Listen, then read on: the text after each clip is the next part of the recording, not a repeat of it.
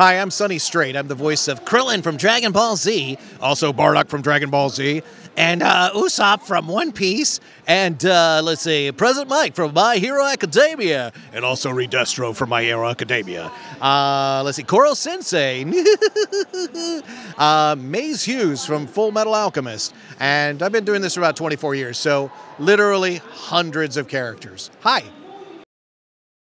I just want to say, you guys, thank you so much. I'm you.